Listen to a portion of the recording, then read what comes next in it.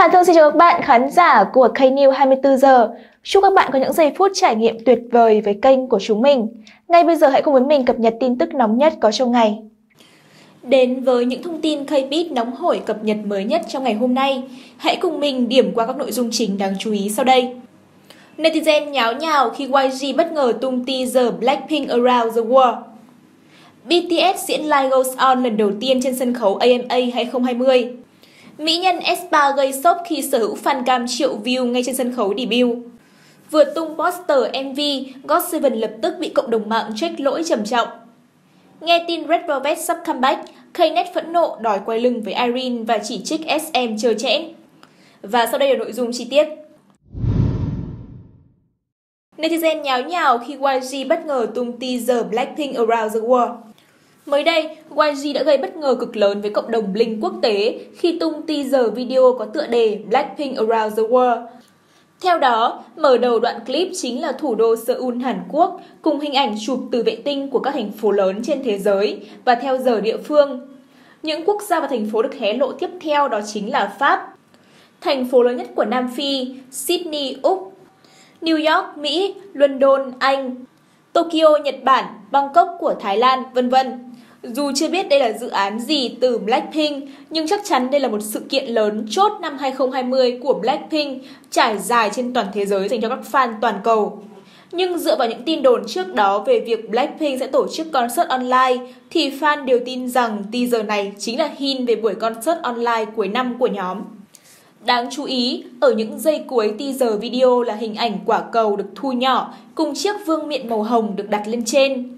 Có thể thấy rằng đây chính là dự án lớn cuối năm mà YG muốn khẳng định vị thế của Blackpink khi chứng minh đây là nhóm nhạc nữ toàn cầu với quy mô áp đảo thế giới. Cũng trong sáng ngày 23 tháng 11, YG cũng đăng tải poster khoe chiến dịch của Blackpink khi mà MV Dududu chính thức cán mốc 1,4 tỷ view xem trên YouTube. Còn nhớ vào thời điểm mà khi MV này của Blackpink cán mốc 1,1 tỷ view nhưng cộng đồng Blink vẫn còn chờ dài cổ để hóng màn comeback thì có lẽ đến bây giờ các fan của các cô gái nhà YG đã thỏa mãn cực độ bởi kể từ khi chính thức trở lại với MV Hoidezat vào tháng 6 vừa qua thì cho đến hiện tại là đã ngập ngụa những dự án trở lại của Blackpink khiến cho Blink liên tục đứng ngồi không yên. BTS biểu diễn Live Goes On lần đầu tiên trên sân khấu AMA 2020. Đúng 7 giờ sáng ngày 23 tháng 11 theo giờ Việt Nam, lễ trao giải AMA 2020 chính thức diễn ra tại Los Angeles. Nơi đây sẽ công nhận những đóng góp của các nghệ sĩ và các nhóm nhạc trong năm 2020 qua việc phát hành album và các ca khúc. Đại diện K-pop duy nhất được tham gia biểu diễn AMA không ai khác ngoài BTS, nhóm nhạc đang làm trao đảo làng nhạc Hàn Quốc và quốc tế với các bài hát cực kỳ xuất sắc. Sau 3 ngày kể từ màn trở lại, 7 chàng trai nhà Big Hit sẽ đưa tới ca khúc chủ đề hoàn toàn mới. Đó chính là Life Goes On lên sân khấu của một trong những lễ trao giải lớn nhất nước Mỹ. Cũng tại AMA 2020, BTS được đề cử ở hạng mục bộ đôi và nhóm nhạc xuất sắc nhất, pop rock và nghệ sĩ nổi tiếng nhất trên mạng xã hội. Nhóm cũng sẽ đối đầu với những ứng cử viên sáng giá nhất ở hạng mục đầu tiên và đối đầu với Billie Eilish, Ariana Grande, EXO, NCT tại hạng mục thứ hai. Mỹ nhân của Espa gây sốc khi sở hữu fan cam triệu view ngay trên sân khấu debut. Winter và Karina chứng minh họ là những tân binh khủng long của 2020 khi có fan cam 1 triệu view lượt xem chỉ sau 2 ngày. S3 vừa debut đã vướng nhiều tranh cãi từ phốt thái độ thành viên đến loạt nghi vấn sao chép concept nhưng không ảnh hưởng quá nhiều đến thành tích của nhóm đạt được. Bài hát của S3 có thứ hạng khá tốt trên bảng xếp hạng online, lượt view MV đầu tiên cũng đứng đầu trong số tân binh. Sân khấu của bốn thành viên đầu tiên đều nhận được phản hồi tích cực, Đặc biệt nhất chính là hai thành viên Karina và Winter nhận được vô số lời khen về biểu cảm và thần thái đỉnh cao. Điều này chứng minh qua lượt view fan cam chỉ sau 2 ngày của Winter đạt 1,3 triệu lượt xem, của Karina thu về hơn 1 triệu lượt xem. Đây được xem là một con số kỷ lục đối với một tân binh. Winter là thành viên nổi tiếng của S3 hiện tại, đảm nhận vai trò visual, nữ idol được khen khuôn mặt xinh xắn như búp bê, Thậm chí cư dân mạng còn đánh giá là có nhiều nét tương đồng với Taeyeon của SNSD. Không chỉ có nhan sắc, thần thái biểu diễn của Winter cũng vô cùng ấn tượng. Tân binh nhà SM biểu cảm tốt và khả năng vũ đạo cũng không phải dạng vừa. Vừa có nhan sắc lại vừa có tài năng, Winter đang chứng minh bản thân là quân bài bí mật hút fan hàng đầu của S3. Karina ngay từ ngày đầu được SM ưu ái. Dù cô nàng này vướng nhiều tranh cãi nhưng vẫn chiếm vị trí center của S3. Sau loạt sân khấu đầu tiên, netizen phải công nhận rằng Karina xinh đẹp sang chảnh hơn rất nhiều so với ảnh teaser. Ngôi sao sinh năm 2000 gây sốt với tỷ lệ cơ thể siêu thực, gương mặt như bước ra từ phần mềm máy vi tính và khí chất như các hai tin trong bộ phim Mỹ. Không những thế, Karina và Winter cũng gây ấn tượng mạnh khi có mặt trong bảng xếp hạng thương hiệu, vượt qua cả những đàn anh đàn chị đình đám. Espa tiếp tục khiến công chúng và thay đổi thái độ ác cảm ban đầu, dần dần công nhận tài năng và mức độ nổi tiếng của từng thành viên.